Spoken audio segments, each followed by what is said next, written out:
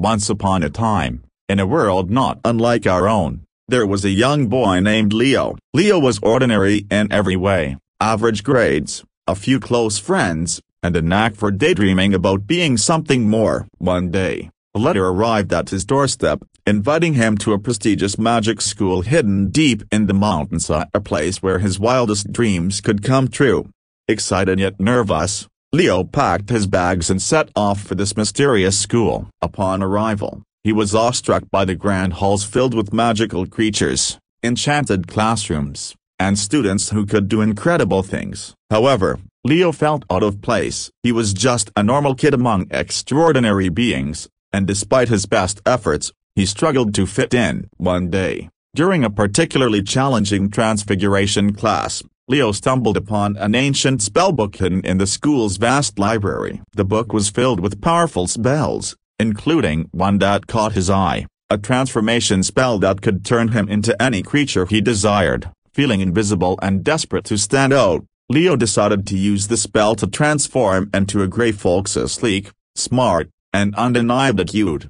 The transformation was an instant success. Leo's new form was adorable, with soft gray fur, perky ears, and bright, intelligent eyes. When he returned to the school as a gray fox, everything changed. Suddenly, he was the center of attention. Other students admired his courage and uniqueness, and he quickly became popular. Leo reveled in the newfound attention and admiration, enjoying every moment of his life as an anthro-gray fox. Weeks passed, and Leo's popularity only grew. He was invited to all the best parties, befriended the most talented students, and even earned the respect of the teachers. Yet, despite all the adoration, there was a small voice in the back of his mind that questioned whether this new life was truly fulfilling. One night, as Leo wandered the moonlit corridors of the school, he found himself in front of the mirror he had used to cast the transformation spell. He stared at his reflection, seeing the charming gray fox that everyone loved. But as he looked deeper,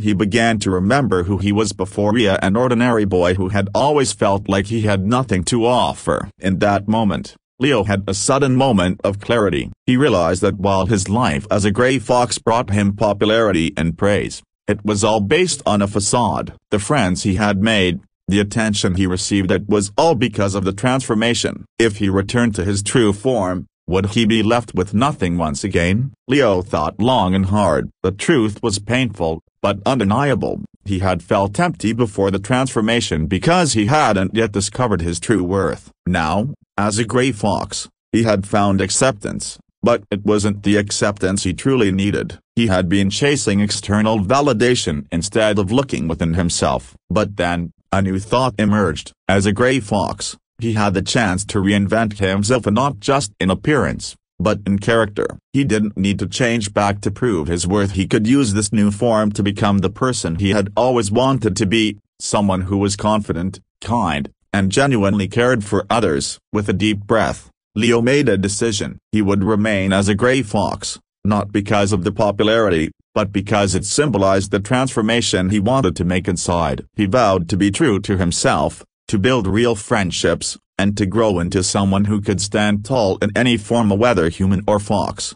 From that day on, Leo embraced his new life with a renewed sense of purpose. He became a leader among his peers, not because of his appearance, but because of the kindness and wisdom he showed. He realized that he hadn't started with nothing he had simply been searching for the right way to bring out the best in himself. And so, Leo remained a gray fox, but more importantly, he became someone who was loved and respected for who he truly was uh, inside and out.